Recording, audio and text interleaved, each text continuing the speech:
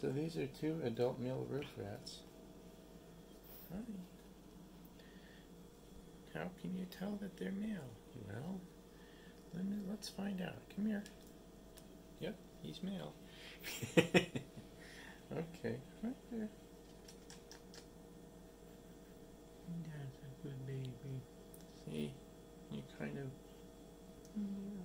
Yeah, that's a good baby.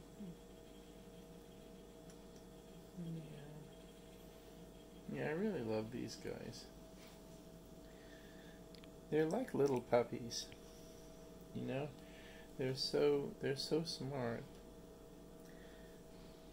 You see how he can just stand there on my hand? Yeah. This other little guy? Right there. Yeah. This big one is Bao Bao. He's big, but he's not dominant.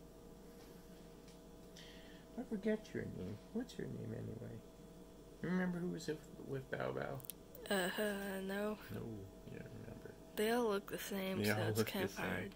I know. Yeah, they kind of do, but they have different personalities. You can't hear it, but they're making a kind of chattering noise. Um, yeah, Norway rats do that too. Roof rats do that when they're kind of happy or excited. See, he's going. You know, that's kind of like rat purring. It's the closest analogy I can think of. Because he's so happy. They're so happy to be with me. They love that. They they love me. They're very social animals.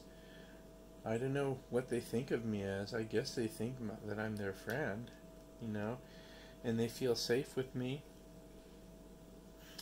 Um, some of them even like when they feel nervous, they like dive inside my shirt to to get you know to be safe.